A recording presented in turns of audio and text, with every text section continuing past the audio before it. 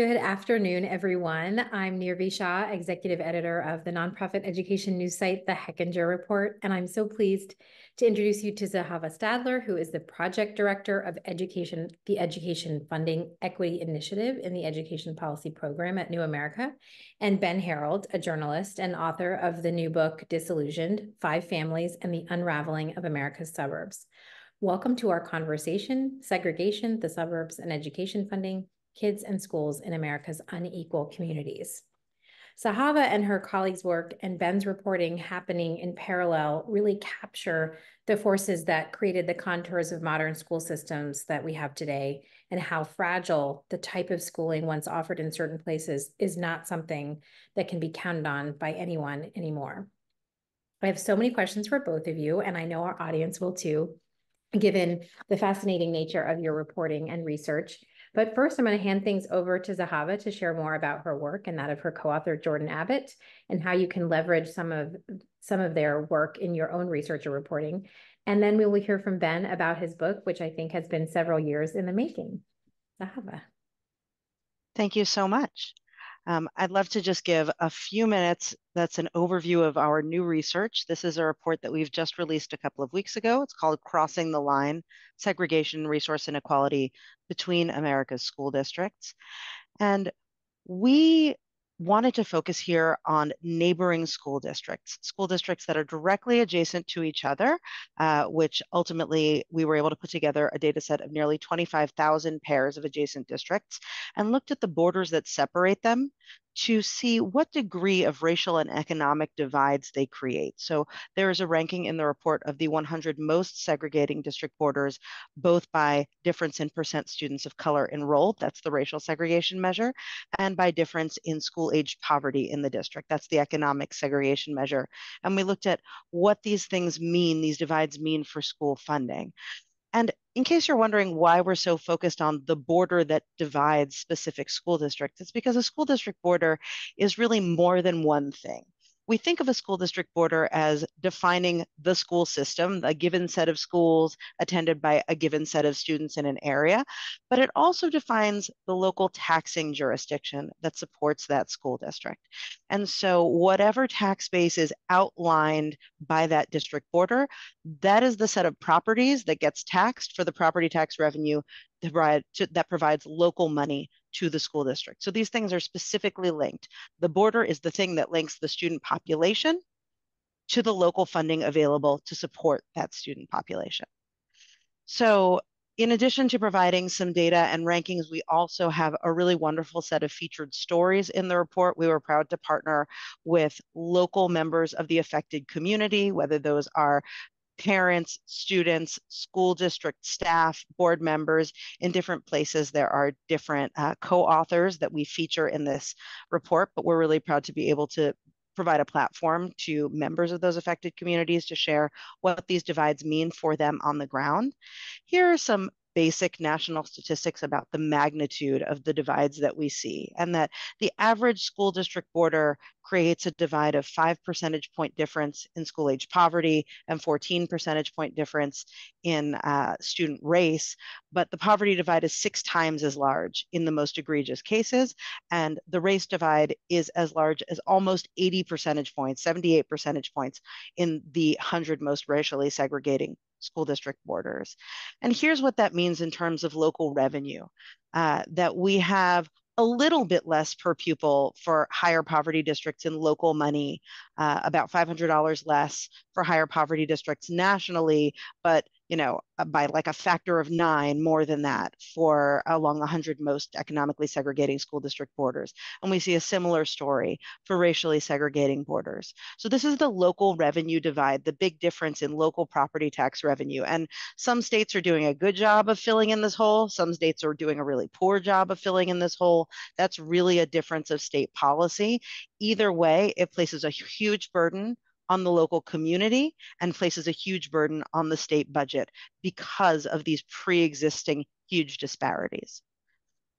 But these divides are not happenstance. This isn't an accident. There were intentional policy choices at every level of government that led to racial and economic segregation between neighborhoods and communities, and then the choice to draw school district boundaries on top of that segregated map and to link school funding to property value just compounds this problem and continues to perpetuate. So this report has three main components. There's a long form report if you like printing out PDFs and reading them. There is a multimedia story if you like scrolling through cool maps and, uh, and understanding what those stories mean. Both of those are the ones that feature the local stories that I was talking about. There's also an interactive map and data tool. So I'm just going to take one minute to show you what we provide in terms of the data that you can explore in the states and communities that are of interest to you.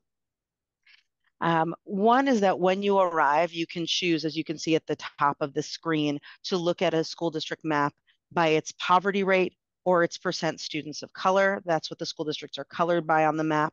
Uh, there are also these red dots featured on the map that show the 100 most segregating borders by each of those measures.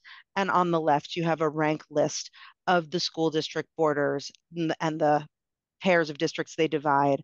Uh, and you can zoom to anywhere in the country. The list on the left will automatically filter so that you see the most segregating borders in the view that you're looking at. Or you could choose a particular state to focus on and just see through, through if the filter button and just see the most segregating borders in that state. Uh, you can also click on any one of the district boundaries featured in the report or really any that's included in our data set and see the, the relevant statistics on the left side panel about that divide or choose an individual district. You can see on the right, we've chosen Detroit and see important statistics about its student population and school finance. And finally, there's a cool feature here where you might want to explore segregation in any specific area that's of interest to you. You can set a radius around a point or a district polygon line. You draw it and you can see uh, some key information about the divides in that area. So you can see there's a lot of hour here. I know I've gone through it very quickly, but if you are interested in learning more, if you're an advocate or journalist who would like to have a follow-up conversation about this um, or understand what this means in your area, please feel free to scan this. Please fill out the form and we promise we'll be back in touch with you because I know that was a really quick uh, overview. So thank you so much.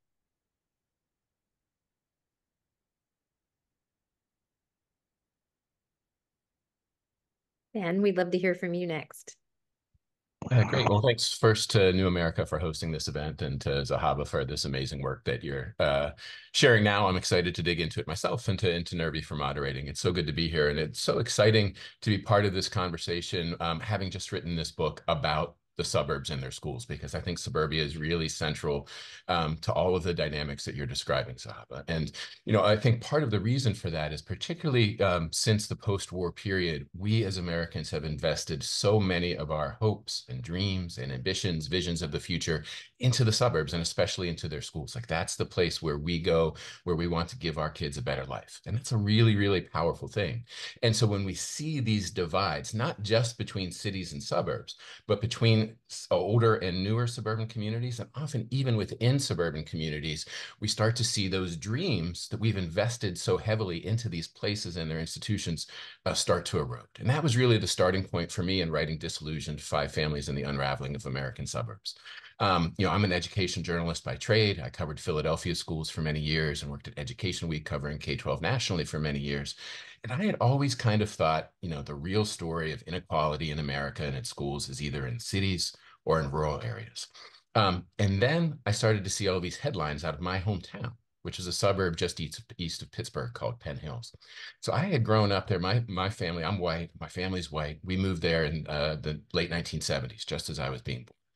And it was a place that worked really, really well for my family. Um, there were cheap mortgage loans, there were big tax breaks, the infrastructure was all mostly new, and really the public school systems was had been made in the image of families like mine, and it worked very well for me and my brothers as a result. And so when I graduated in 1994, I left. I didn't really think there was much going on in suburbia. I wanted to go out and see the world. And so I did, and I became a journalist. And it wasn't until 2015, 2016 that I started seeing these headlines out of Penn Hills. And all of a sudden, this same suburban school district that had served my white family so well was now $172 million in debt. It was furloughing teachers, slashing programs and services, property taxes were going up, home values were stagnating. You could kind of see that dream, that suburban American dream, really eroding in real time. And what I realized very quickly was that change was overlaid with a very dramatic demographic shift. So the same public school system that was 72% white when I graduated in the mid 90s was now 63% African American. So that meant thousands of families of color had come to suburbia looking for the same generous social contract that my family received, only to discover not only were they not getting that same deal, they were essentially on the hook paying for the opportunities that families like mine had already extracted. And again, I think this gets to the issues of borders in a really profound way because so much of our kind of flight to suburbia over the last 80 years has been about trying to find um, the best opportunities for our families and for our children. But in many ways, that has been predicated on the ability to exclude both racially and economically, in very much the ways that Zahava is describing.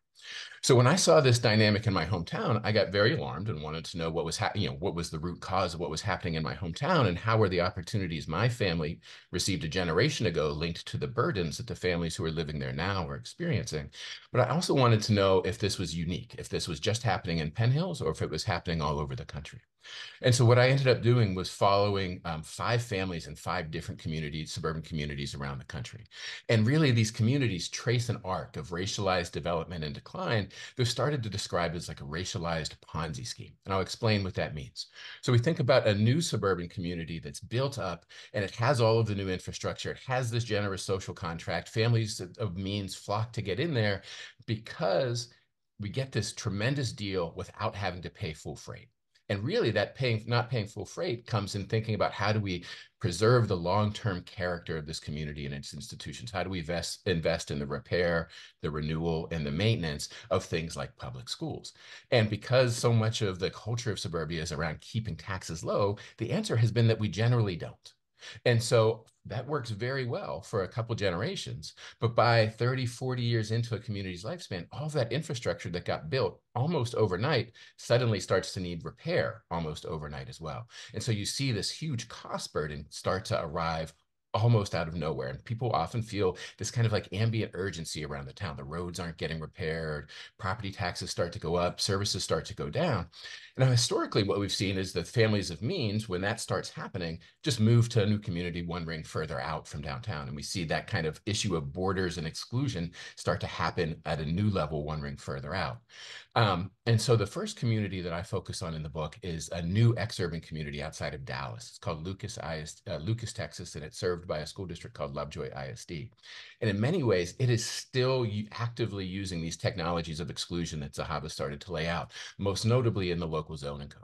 So there are a bunch of provisions in the code that guarantee that that school district is not only 73% white, but less than 3% low income and has hardly any students who are speaking English. And this is in North Texas, so that's very unusual. Um, and I follow a white family named the Beckers, who are wealthy, conservative parents who move there, kind of feeling like, okay, this is the place where we can recapture that old suburban dream that starts to be, that seems to be vanishing. Um, I also follow an African American family named the Robinsons. They're a professional middle class family, multiple advanced degrees who live outside of Atlanta. They bought into a, a suburban community about 45 minutes northeast of downtown Atlanta, thinking they were going to get this same kind of generous social contract, but start to, as soon as their oldest son hits middle school, they start to run into all of these disciplinary issues and end up fighting against the system that they had invested their lives in trying to be part of. Um, I follow a multiracial mom named Lauren Adesina, who lives in Evanston, Illinois. It's a progressive, uh, pretty affluent college town just north of Chicago. Um, and what we see there is really um, a place where I thought I was going, where we'd see a, you know, kind of a model for how to deal with these kind of racial equity issues. And instead, we see kind of a liberal progressive split that starts locally around the national, around the, the school board politics and ends up mirroring what we see nationally. Um, back in my hometown outside of Pittsburgh, I met an African American mom named Bethany Smith who had recently bought the house three doors down from my childhood home. And then this, the fifth community that's featured in Disillusioned is Compton, California, which we really don't even think of as a suburb anymore, but it does have this rich suburban history. Was all white up until the early 50s. The Bush family actually lived there for a short period. George H.W., Barbara, and George W. lived in Compton right before it started to change, went through this cycle of demographic change, uh, capital disinvestment, white flight, uh, massive debt, all of that kind of bottomed out the community. And now we see Compton starting in its public schools, starting to come out the other side of this suburban cycle that the book describes. So I'm really excited to share some of those stories and to look at how the kind of human elements of this intersect with the policy dimensions um, that Zahava's described. Thank you both so much. Um, Ben, I was going to ask a different question, but just because you'd mentioned the um, the fact that Compton is kind of coming out of the other side, I was curious to ask you both about sort of is there an end to this cycle? How are how are things changing? But I'd love for you to start there about mm-hmm. sort of uh, Compton perhaps coming full circle at this point. Yeah, it's a great question. And I think, you know, what I really came away from my four years of reporting on disillusion believing is that we're, as a nation, we're really at the very beginning of this unraveling. And that's because we've seen so many communities that were built in the 50s, 60s, and 70s that are now, you know, 60, 70, 80 years into their lifespan. And this dynamic is really just starting to hit. So I think as a nation, we're just starting to wake up to the realities of uh, suburban inequality, suburban um, financial troubles, the demographic changes within suburbia. We're just starting to become aware of that. But Compton becomes a great lens to kind of understand what we are entering into because all of this happened in Compton 50, 60 years ago. And so now, you know, after the bottom fell out in Compton in the early 80s and through the 90s, after you know a couple decades of real, real struggle, what we see in the in the schools is a system that's 96% black and brown, overwhelmingly Hispanic, um, a lot of English learners, a lot of immigrants, newcomers, um, undocumented parents, including the family um, that I follow. Um, but what you see is this massive investment in those kids and families in a way that's like really captures the spirit of what um, the post-war era was in suburbia, but was really at that point only for middle-class white families. So now I think we're starting to see some older suburban districts like Compton Unified say, hey, we need to reinvent this suburban social contract in a way that's A, much more inclusive, so the families that were historically excluded are able to benefit from it and shape the future. And the B is much more sustainable so that it's not this one or two generations and then we move on and leave a mess behind. And I think that's where we hopefully will get to sooner rather than later. Um, I'm I'm impressed that there is the the will um, for that to happen in Compton and Zahava. That I wanted to talk with you a little bit about.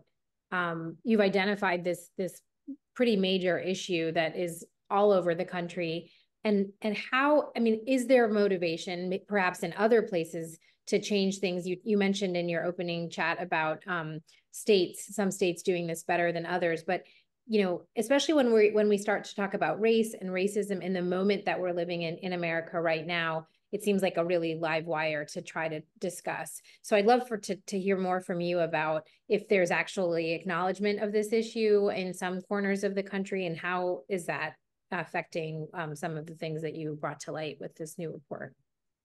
Yeah, I think the important thing to think through when it comes to how are states handling the inequality that they're responsible for, because I do want to emphasize we're talking about local disparities, but states are responsible for them. The, the federal constitution does not have a right to public education in the United States, but every state constitution mentions public schooling. School districts are sort of a, something that states use for convenience to administer public schools, but the responsibility really lies with the state to make sure that students have access to meaningful and in most states specified equal educational opportunity.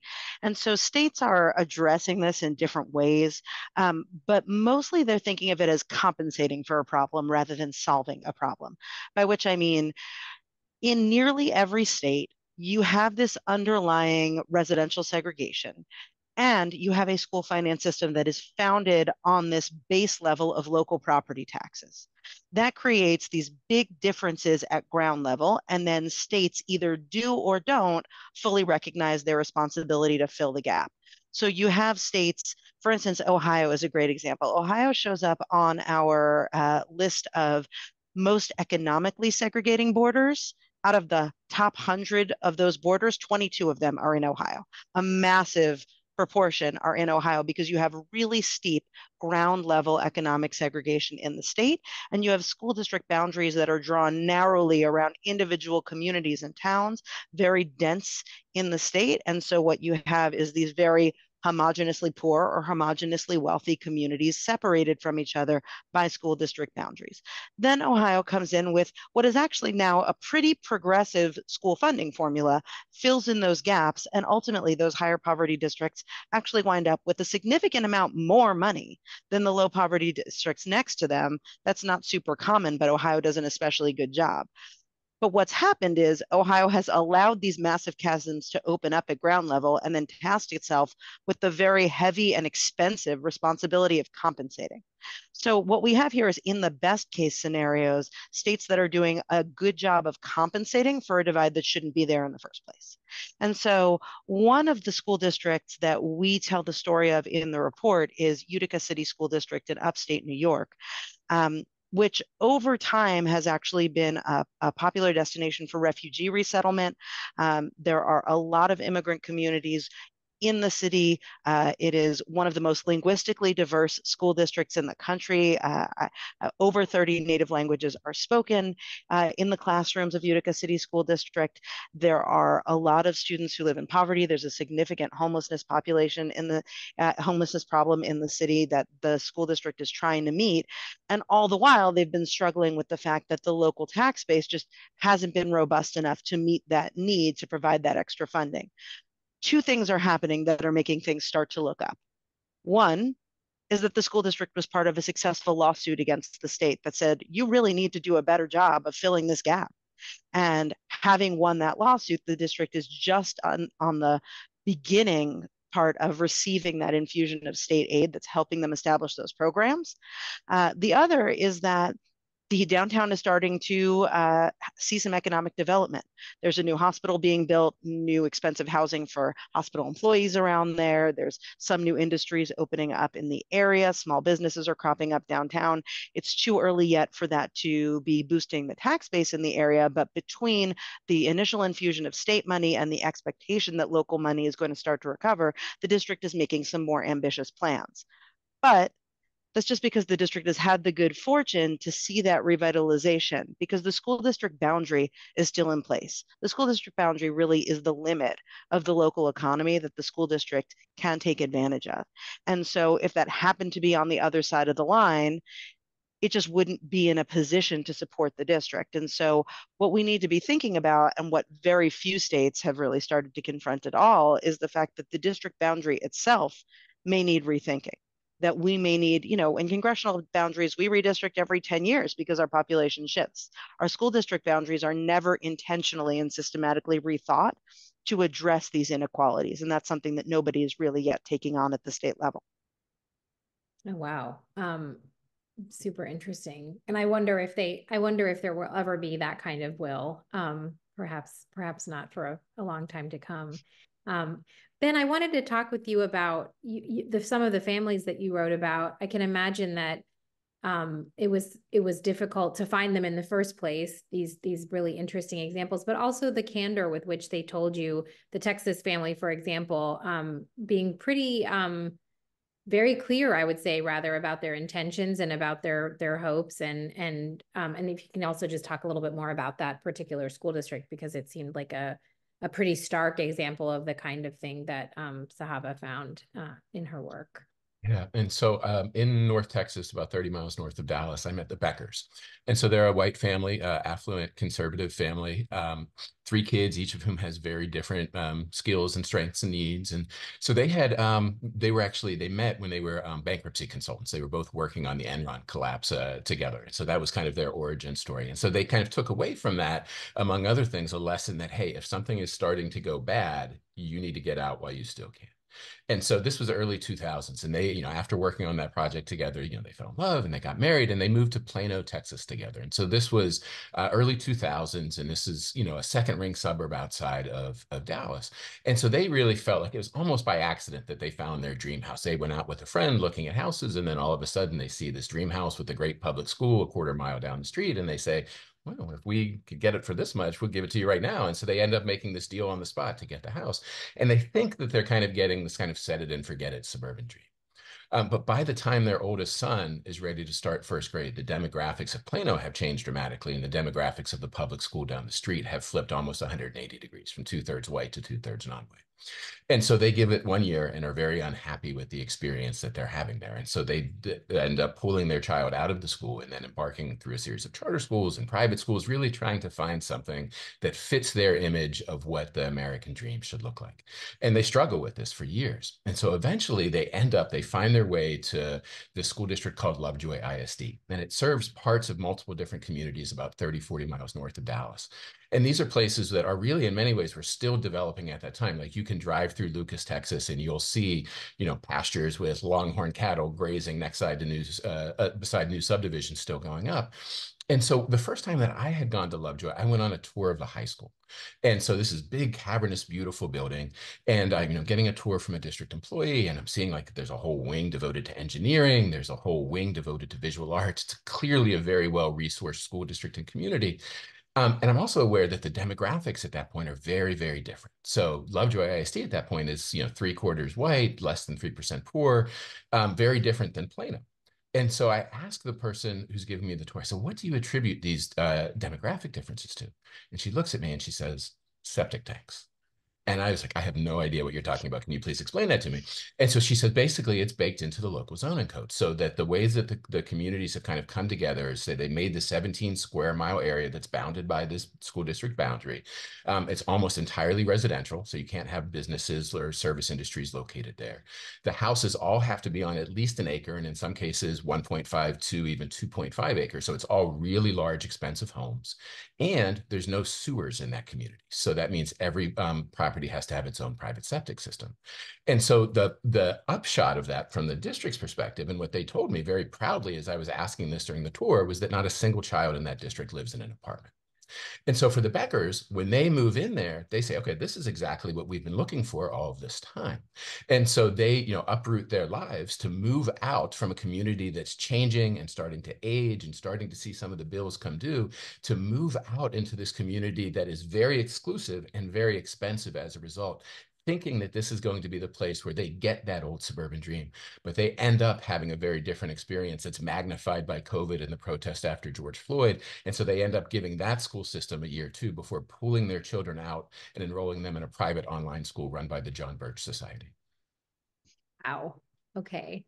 Um, really fast. I just like find it amazing that you were able to get so much detail from that particular family, but just clearly laying out um, their intentions and their hopes for their for their kids. Um, and, and I think if I, if you don't mind me jumping in quickly, please. I thought I was telling that I actually met the Beckers through their realtor. And I think you see, you know, the ways that those boundaries that Zahava is describing are enforced are often very woven into the fabric of institutions and communities. So when I met that school district, went on the tour, I said, you know, I'd love to meet some families who are looking to move in. Can you connect me with a realtor? And they said, well, sure. The biggest realtor in the region happens to have, you know, several, a couple kids in the school system and is on the board of the foundation that raises money for the school system. So they have these kind of layers of filtering that allow them to control who comes into the community that reinforces the border in a way that's very um, powerful. Wow. Um, just to, to, continue the conversation, I, I have some of my own questions, but I see some coming in um, in the chat that follow up on points both of you made. And Zahava, one question is, is there a, you talked about Ohio a lot, and I'm actually curious if the solutions that have been um, introduced in Ohio are having the kind of effect that offsets some of the entrenched um, issues with um, school district tax revenue. Um, but the question is, is, is there a sense of of which areas of the country um, have seem to have more or fewer problems with inequality and racial segregation between school districts. I don't know if it's strictly suburban or if it's all types of districts, and also just where where and where in the country um, this is the most pronounced. Yeah, it's a really interesting question because uh, there are layers of potential segregation in school systems, right? You could have segregation between school districts and you can have segregation within school districts. Uh, and segregation between school districts has the most uh, school funding relevance because, as I said, the district border means uh, it defines the kids and it defines the availability of local money. But of course, you can have a large school district within which there's no political or local will to ensure that actual schools and classrooms are integrated. So I don't want to say that the lack of uh, district border that's a problem on our map means that there's no segregation problem in the area, just that it's one that would look different. But I think that the real answer to the question um, about regions is really interesting. So uh, I'm from the Northeast. I'm from New Jersey, uh, from a suburb right outside Newark. And uh, I like to pick on New Jersey because it is a state the size of my thumbnail that has 600 school districts. Um, and a lot of the Northeast is like that, where the individual school districts match the town, that every little town is its own school district. Now, in the South, it tends not to be like that. Uh, many, many school districts in the South are actually county level school districts. So, for instance, in, in Ben's book, that he, he, looks at a, a family in Georgia that's in Gwinnett County that's a school district. The county is the school district. And the reason for that actually is a legacy of segregation in the South, that in the past, de segregation, meaning segregation that was legally required within each school district in, in the pre-Brown v. Board days, um, in order to get enough kids in any one district to sustain separate white and black school districts, they had to draw those school districts pretty big in order to have enough kids to sustain two different school systems in every district. And so, as a legacy of that intentional segregation, those school districts are pretty large and most of them are counties. And that means today, the individual school systems, which are, are no longer segregated by law, uh, are actually large enough to be pretty internally diverse. And so, given enough political will and care, which of course is often not present, but there is the possibility of very integrated schools within those county level or large school districts. Whereas in the Northeast, uh, unless there's a really concerted effort to rethink those school district boundaries, that's you're going to be much more hard pressed to, to achieve that kind of diversity and that kind of economic mix that provides not only diverse school systems, but fairly resourced school systems. So we actually see that in regions like the Northeast, where school districts are smaller and town level, that these kinds of divides are worse. Wow. Okay. Um, and Ben, one follow-up question for you from the from the audience. Um, the will for change in Compton, does that exist across the racial groups that now comprise that that suburb? Um, someone says they noticed that the school district is 83% Latino and uh, they wrote 1% Black. I hopefully I'm reading that correctly. Um, but I'm curious um, yeah, if you talk about more, a little more about that. It's a great question. And I think part of the, really in many ways, the heart of the work of finding that will and being able to act on it in Compton was overcoming what was really a decades long legacy of black brown conflict within there. After all of the white, uh, almost all of the white families had left. So we're talking, you know, through the 70s, 80s, and 90s, we saw, you know, generations of um, African American leadership in Compton who had fought very hard against very dire circumstances to gain control of um, patronage opportunities, contract contracting opportunities, political leadership positions, um, and then fought very hard to maintain that, often to the exclusion of a growing Latino community. And so for years and years and years, you had these kind of this ongoing fight um, between uh, Latino activists who are saying, we want more representation, we want more jobs, we want better education and educational quality for our children, and Black leadership saying, um, you know, really prioritizing their own community's needs.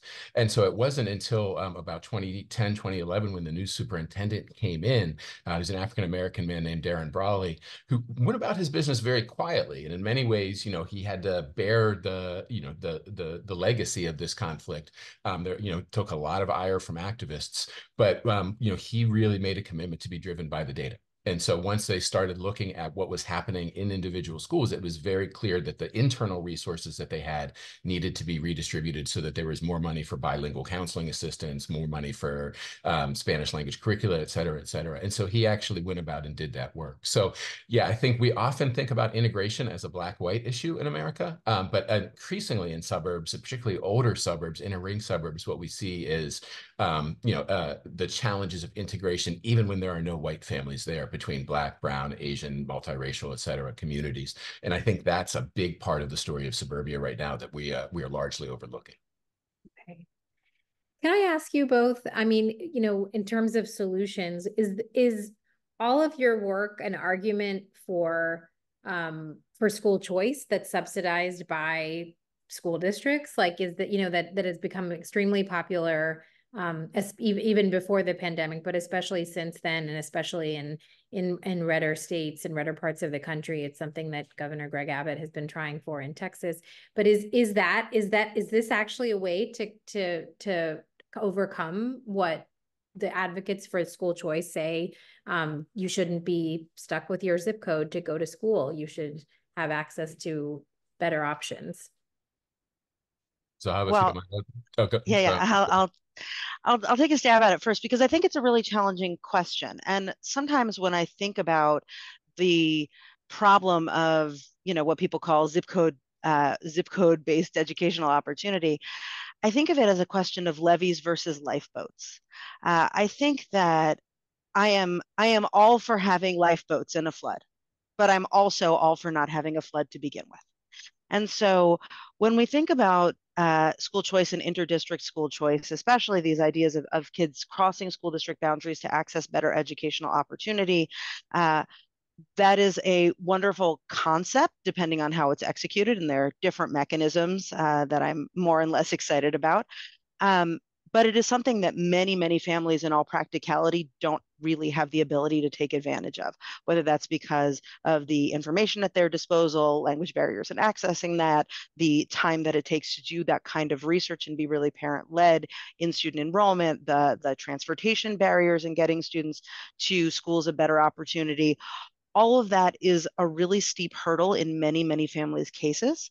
And so, while I think in principle, the idea of building as many lifeboats as we can holds a lot of appeal, I am also really passionate about the question of where do we need to build levees? Where do we need to control the flooding? Where do we need to ensure that we're not actually in need of an escape route?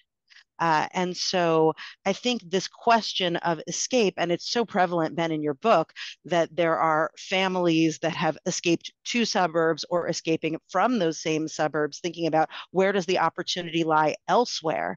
But the idea of also needing to think really systematically and intentionally of ensuring opportunities in all school systems and where have we underinvested in providing those opportunities. So I think it really needs to come from that side as well. Yeah, and I'll jump in just quickly, if I may, with two thoughts. So one is that, you know, I think one of the things that suburbia really highlights in this conversation is the way that residential decisions are in many ways the first school choice decision. And so the ability to buy into a community and a school system uh, is how families of means make their school choices.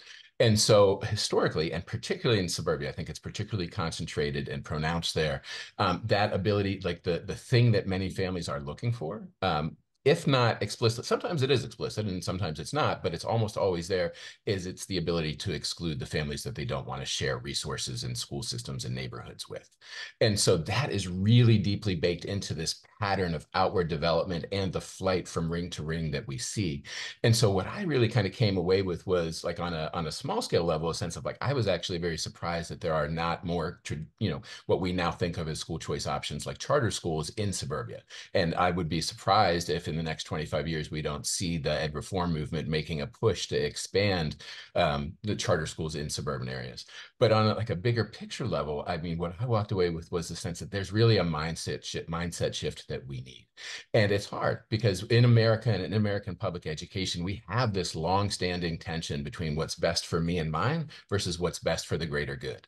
And in America, we tend to you know lean towards the former side of that and in suburban public schools we lean very heavily towards this the idea of what's best for for myself my family and my children and so i think what we're running into now is the sense that not only is that those choices when you aggregate them up are they undermining a collective good that allows for equality and equity and uh, access to opportunity it's also rebounding and limiting our ability to get what we want even those families of means uh, uh for example and so there i think that's part of the reckoning that we see now is we're going to need this recalibration of individual versus collective good.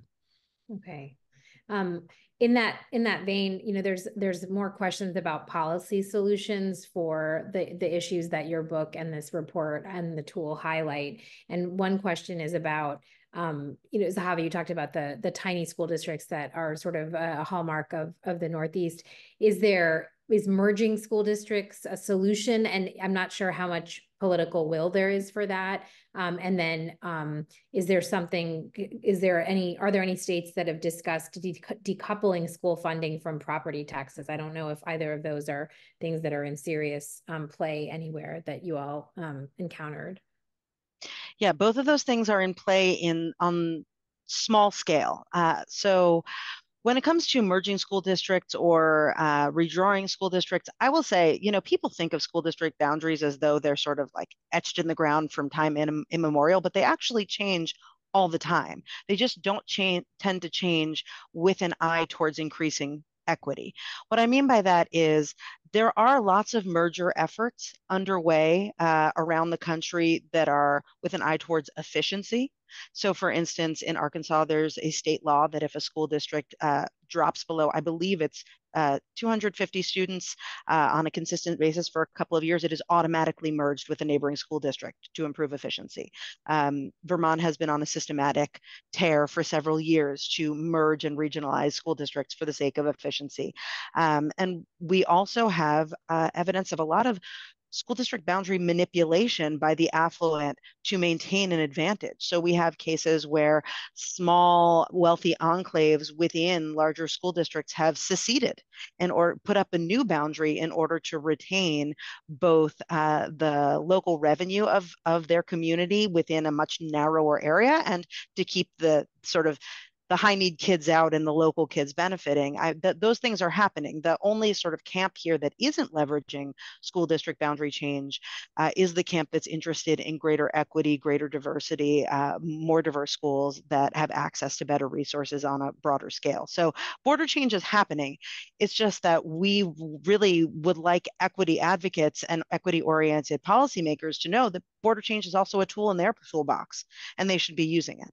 And so uh, that's really important to know that there are precedents. It's not that no one has changed a school district border before. They just haven't have very rarely done it with with an eye towards this goal. Um, in terms of decoupling funding from school district boundaries, there are a few instances of doing that or at least weakening the tie between funding and school district boundaries. Vermont, again, is actually a really strong example of this, of a state that has basically brought all of its property taxes to the state level, though I will acknowledge given the question you asked before about political will, that Vermont is also one of the whitest states in the union. And there isn't a lot of racial inequality between school districts that adds a different kind of, uh, you know, battle line valence um, for people to bring to these really like racially tense conversations. And and frankly, you know, we, we have to acknowledge that um, racist gonna racist in in any context, re- regardless of the financial incentives. Um, and that's true regardless, but there have been efforts to decouple that local revenue uh, from school district boundaries. There's also efforts in some places to add county level taxes that can supplement the the narrow school district taxes, or a place like Michigan that uh, a couple of decades ago capped what could be raised locally and instituted a new state property tax for education. So it moved some of that local money up to the state level. So there have been partial measures to move some money away from the local level, even within the property tax category. So it's bits and pieces. There are some good precedents. I wouldn't say that anybody has taken this on really systematically. Um, and and Ben, just that Texas family uh, that I'm a little bit obsessed with. Clearly, um, there's a question about um, whether there's a policy solution to white flight. I mean, does that does that is that anything that you encountered? Um, you know, because it it it seems like if families have the means, they can make the choice whether that's to move not once but twice and then ultimately to move online i thought it was interesting that that and i think in that school district the superintendent ultimately um, kind of gave up on the school district when time when the going got rough. Um, but but don't let me steal, don't let me mess up that anecdote. Um, yeah, well, I think that um, I don't know that it's a policy solution so much as it's the demographic and economic forces that we're seeing that we're, I think in many ways as a, as a country and within public schools, we're running up against some of the limits of white flight and two factors kind of contributing to that. So one being accelerating demographic changes. Like one thing that I walked away from the research and reporting with this book, and I still think about it all the time. So I almost have to remind myself is that suburban public schools in the, nation's 25 largest metropolitan areas, so thousands and thousands of, of suburban school districts were, or suburban schools were part of this analysis that we did with the Ed Week Research Center and found that suburban public schools are already majority non-white. And so this idea of like just going to find the place where you can get a 90% white um, school district um, is less accessible now than it was, uh, you know, even 10, 15 years ago, and certainly 30 or 40 years ago for lots and lots of families, strictly because of demographics. And then when you add the kind of economic and land use patterns on top of that, like a place like Lucas, that's 30, 40 miles um, north of Dallas. And like there is some development happening a little further out there, but at a certain point you realize like how far out can we continue to build subdivisions full of large homes that use a ton of energy and water when you are starting to get commute times that uh, you know extend well past an hour and climate concerns and energy costs and et cetera? And so i think both of those things what we're seeing is that in many cases families including the beckers the white family that i follow in, in, in lucas texas you know have this sense of we there's no more a way for us to go to we can't just escape anymore. And so I talked with Susan at the end of the book. I said, you know, you know, these changes were starting to happen. She had pulled the kids out, was, you know, really just unsure what to do if things were going to return to quote unquote normal or not. And I said, well, you know, would you and your husband think about just moving out to the next community further out and trying this again? And what she said um, really stuck with me. And she just said, it's not going to be any different anywhere else. And I think the combination of economics, demographics, and the cultural shifts underway in the US US, like they're very pervasive. And this idea of suburbia as a safe haven where families of, you know, white families of means are able to retreat from the rest of America is increasingly infeasible. And that's part of why we're seeing so many of the clashes that we're seeing in suburbia and particularly at suburban school board meetings. Okay. Um, and so it, I think it's interesting that she built that awareness, but it took some some a lot of a lot of energy and effort on her family's part um, to mm-hmm. realize that. There's a question um, from the audience that says, "What are ways to make the average family aware of border changing or other efforts that will be harmful or exclusionary to help them engage in advocacy?" Because that's a family that is again became aware um, of of some of these issues, but I don't know if some of the other families that you profiled um, you know at what point their awareness um, uh, took place if it ever did or zahava if, if there's you know how how are some of is there grassroots advocacy are people that are just living these lives like actually aware of um, either their agency or or even that these problems exist I'll jump in quickly uh, with just two stories from the book uh, related to that and then hand it over to you, Zahava. But sticking in Texas for just a moment, you know, I think part of what I, you know, in some ways I'm going to flip the question on its head because part of what happened there was that it was a community that was so small for so long that it couldn't afford its own high school or middle school. And so those uh, older kids in that community were going to the neighboring school district um, for years and years and years. But as that neighboring school district grew and got more diverse, there was this pressure internally in Lucas to say we need to create our own high school for our own kids. And so, you know, it, as this conversation would come up, there was a, you know, there was a very active civic conversation among the town council, planners and zoners, citizens of saying, hey, like economically, the foundations of this exclusivity that we have are just not sustainable. Costs are going to keep coming up, and we are like we have very low taxes and we don't have any businesses here. So there's just a mismatch. We can't do this. So they tried to change the zoning code to say, hey, we can, you know, think about a policy solution to prevent white flight. The idea of like we can have a little more density, a little more growth, and a little higher taxes, and we can forestall this kind of uh, economic reckoning that was coming. And the citizens of Lucas, Texas, by and large, said, absolutely not. They freaked out. Um, there was a tremendous backlash to the point where they were moving the the zoning commission meetings from City Hall into the firehouse so they could set up more chairs in the bay so that everyone could come and yell about how upset they were about this. And they ended up voting out anyone who had even voiced any support for it.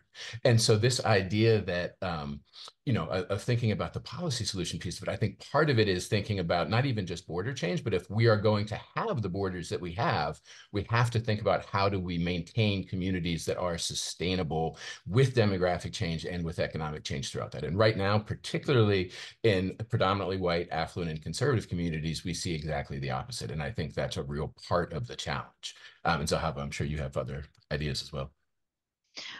Well, what I what I've seen in speaking to advocates about this issue and what level of uh, interest and awareness they bring to the question of school district boundaries and boundary change is that there's a real split between state advocates and local advocates, uh, and that local advocates by and large think about making change within their school district and advocating to the school board or to the leadership or the principals or thinking about how things are happening in their district uh, and that they take the existence of the district as it is as kind of a given um, and at the same time, state level advocates are not accustomed to thinking about local change as within their remit. So the idea of moving a border between two school districts to achieve better uh, better equity levels that's not something that state advocates think of on the community by community basis. And so there's a little bit of a missing middle where people might be thinking about school district boundary change as part of the solution, which is really why uh, I'm trying to, with my team, bring this issue as a state policy question. Because really, as I said, it is, is states that bear responsibility for these divides and that states that could be thinking more systematically about how can we draw school district boundaries to encompass diverse and economically homo- and economically heterogeneous communities and that's something that really needs to be happening at the state level it can't be the responsibility of individual local advocates to sort of redistrict themselves into a more advantageous position. But I would say that one thing that we don't really speak about in our report, but is really salient in Ben's book, and I think really salient as a driver of this question, is capital expenses. So capital expenses meaning the, the money that you need to raise in order to build your building, repair your building, or you know, fix up the roof leak or repair your HVAC or things that I think people really started noticing during the COVID pandemic when the physical infrastructure of their schools became so pivotal to students' experience.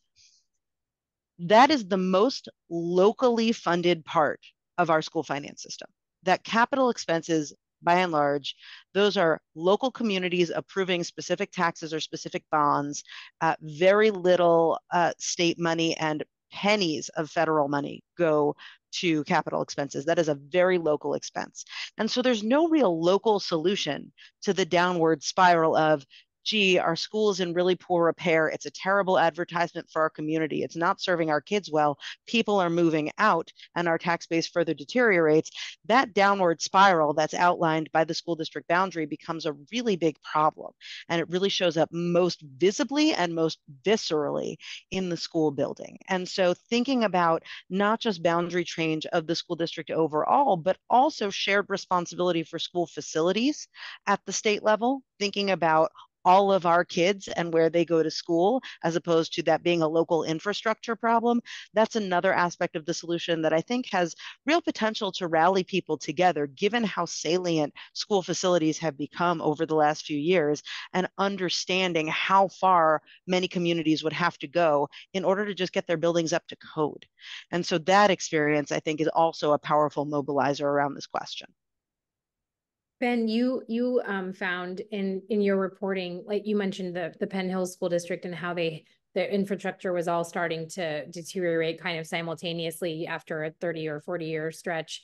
And I don't know if there was the ability to did was there is there was there the political will to either have a like raise money through a bond um issue or how did it, or maybe perhaps the the situation there has not changed but um there was a question or there was a comment in, that someone said Maryland school districts are consistent with counties. School districts have no authority to levy bonds or taxes so they're dependent on um, state funding and or county funding but i'm just curious if you could talk a little bit about that yeah, I think in Penn Hills, it was became for me this really powerful example of the mindset around caring for infrastructure as part of an intergenerational social contract. And I'll give you two examples. One, so, you know, come back to schools, but I'm going to start with the sewer system because this actually started very early in the history in the community in the history of the community's development.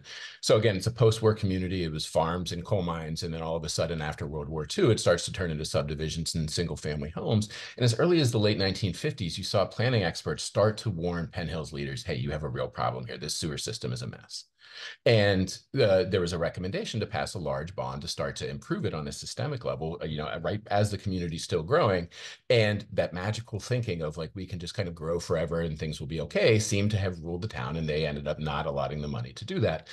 And so, you know, fast forward 10 years, then it's the black part of Penn Hills that starts to bear the brunt of this poor system most directly.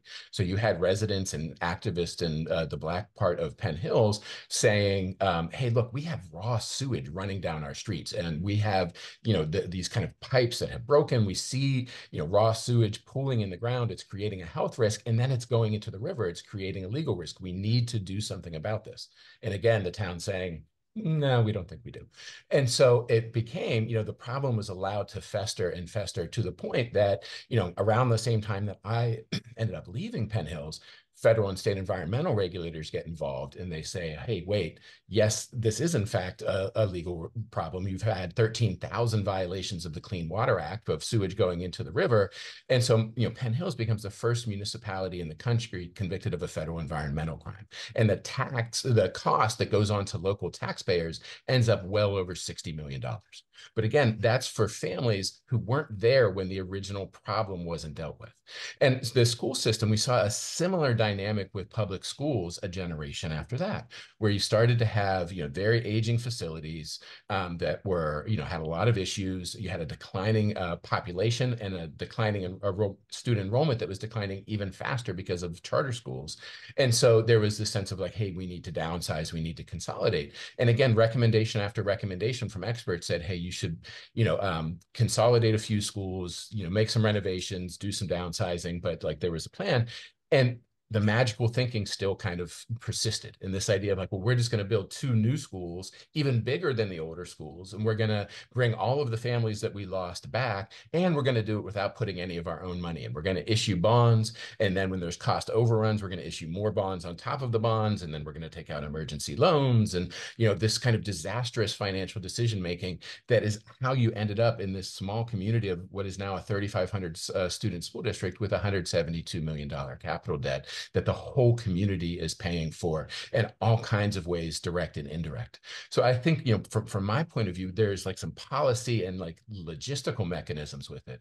But I think, again, part of what we've seen so profoundly in suburbia is this idea of someone else will deal with it later and we won't be here to worry about it. And that is a mindset that I think is reinforced by the borders that we have, uh, but also is traveling across borders over generations. And now that we're finally having to kind of reckon with that and face that, we have a real, real mess on our hands that's both financially expensive and also extremely political fraught, politically fraught, especially in places where the demographic uh, changes have been pronounced. I know we're running out of time. I'm going to try to sneak in one question, maybe lightning round for both of you, but um, and the, perhaps this is inherent in everything that you've talked about. But the the the question is, can you talk about how this issue intersects with challenges around teacher diversity, retention, and recruitment? Because perhaps it speaks directly to that. But I'd love to hear both of you in the in the last minute or two that we have here. And thank you so much. I'll just speak to this really quickly. And Nirvi, thank you so much for this moderation. I think this has been a really great conversation. Um, I'll just say that ultimately, you know, sometimes I do career days in high schools and I ask students, what do you think is the most expensive thing in your classroom? And they have, well, maybe it's the smart board and they look at the pile of books, maybe it's the desk, and it never occurs to them that by far the most expensive thing in their classroom is their teacher that actually by far the lion's share of school district uh, of school district spending is personnel and so any kind of teacher attraction, retention, uh, quality issue is a school funding issue. And so any kind of divides that we're talking about here in terms of access to resources and community infrastructure is automatically going to be a teacher challenge as well. And I think the issue of uh, diversity and cultural mismatch in teaching staffs and student bodies is, is, really one of the you know top three or four biggest issues in suburban schools right now, right up there with um, discipline. I think probably being the other really big curriculum. Um, and I saw that in a couple different ways. So like in my hometown, Penn Hills, um, when I went there, I didn't have a single teacher of color in my 12 years in that school system. Um, but the school system was 75% white at that. When I came back and started the reporting for the book, school system's now 63% black. There was still not a single full-time black professional teacher in that school system. And so what you see, I think, a lot of times is the demographics and the economics of a community change, but the institutions, particularly public schools, are much slower to change. And Gwinnett County was a really powerful example of this, where families experience this on a really direct day-to-day level of saying, hey, we're coming up here. You know, I followed the, uh, the Robinsons, an African-American family who was dealing with these discipline challenges. And they would come up to the school and say, Hey, we want to be partners with you. The husband had been a middle school teacher. We know how to do this. Like, we want to be partners with you. And just not being able to form that connection with the predominantly white staff in their school districts. And you would see that at the, at the leadership level as well, where the school board was largely, up until 2020, was predominantly older white and Republican in a community that had changed blue and that more significantly was largely non-white and so I think what we see is that the political and uh, kind of uh, uh, institutional realities being much slower to reflect the realities on the ground in ways that are often what we as parents and families and educators notice first. And part of what I hope people walk away from this conversation with and from reading Disillusioned with is it's those everyday experiences that we have as parents, educators, teachers that don't feel right that feel like something's wrong that connect to these larger policy issues that we're talking about and that connect our struggles with each other. So if we're fighting discipline here and infrastructure there and budget in the third community, those are actually linked struggles, but we don't have a good framework for doing that because our suburban landscape is so fractured right now. Thank you both so much. I know that there's more to talk about, but we have run out of time. But I really appreciate um, both of you and all of the fantastic questions and comments from the audience. I have a great rest of your day. Thanks so much, Nirvi. Thanks, Zaha. It was great to hear your work. You as well. Thank you so much.